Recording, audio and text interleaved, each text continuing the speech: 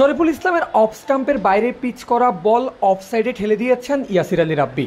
এর পরের মুহূর্তেই ঘটেছে চমৎকার কিছু, যার জন্য ক্যামেরার অ্যাঙ্গেল একটু পরিবর্তন করা যাক।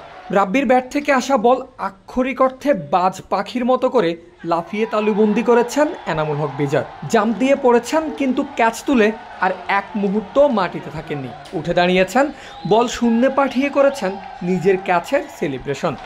ততক্ষণে বিজয়ের কাছে ছুটে এসেছে সতীর্থরা।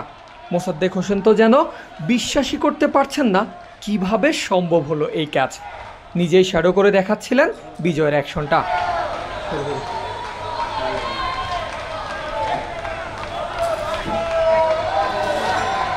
রাব্বির উইকেটের মধ্য দিয়ে পুরোপুরি বিধ্বস্ত হলো শেখ জামাল ধানমন্ডি ক্লাবের ব্যাটিং বিভাগ। এই ব্যাটার করেছেন সতেরো রান, যা দলটির ব্যাটারদের মধ্যে দ্বিতীয় সর্বোচ্চ। বুঝাই যাচ্ছে আবাহনীর বোলারদের তোপের মুখে বৃহস্পতিবার পাত্তাই পায়নি শেখ জামাল।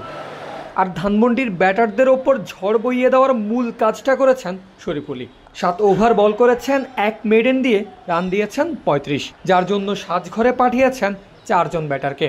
উইকেট নেওয়ার চার বল ছাড়াও শরীফুলের করা বাকি আটত্রিশ বলেও রীতিমতে চোখে জোনাক পোকা দেখেছে ব্যাটাররা।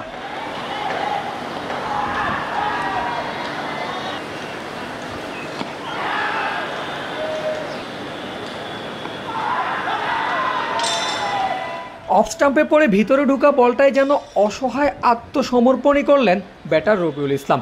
Middle stump ভেঙেছে তার হয়েছেন শরীফুলের দুই নম্বর শিকার। কম যাননি তাসকিন আহমেদও। এক দুই তিন। ঢাকায় জমি জিতে নিন একশো পার্সেন্ট ক্যাশব্যাক সহ বিশ কোটি টাকার পুরস্কার। শেখ জামালের আরেক ব্যাটিং ভরসা ফজলে রাব্বিকে পরাস্ত করে ভেঙেছেন তার স্টাম্প। ক্যাপ্টেন নুরুল হাসান সোহানের টিকিট কেটেছেন স্লিপ থেকে। নাইম শেখের ক্যাচ বানিয়ে।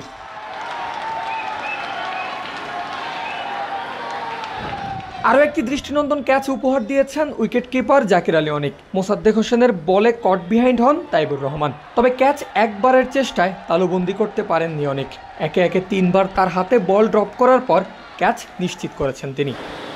শরীফুলের তৃতীয় শিকার জিয়াউর রহমান, এবারও ক্লিন বোল্ড।